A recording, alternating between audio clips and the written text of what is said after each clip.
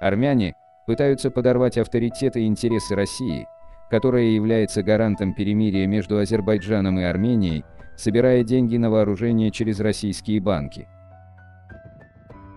Стало известно, что на карту Сбербанка аккумулируются денежные средства для покупки оптических прицелов, тепловизоров и прочих средств двойного назначения для последующего использования на границе Нахчеванской автономной республики с Арменией.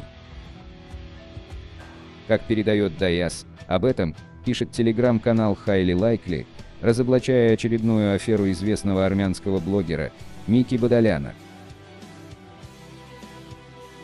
Сбор ведется посредством его чата в мессенджере. Если бы это был сбор средств на какие-либо гуманитарные акции, тогда бы мы еще поняли. Но когда наших граждан призывают вложить свои деньги в покупку чего-либо, подплывающие интересы нашей страны, то такого явно нельзя допускать.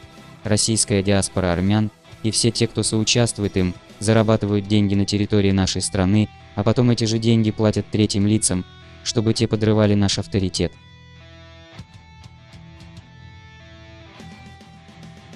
Как могут подорвать наш авторитет?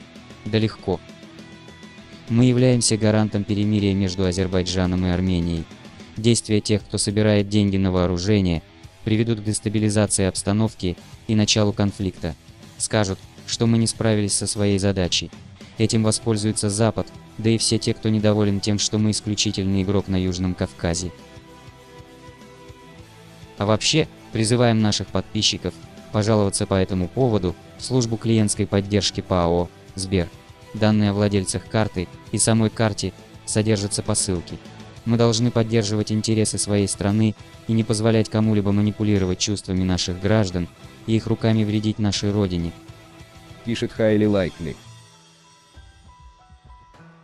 Пишите в комментариях, что вы об этом думаете. Спасибо за просмотр.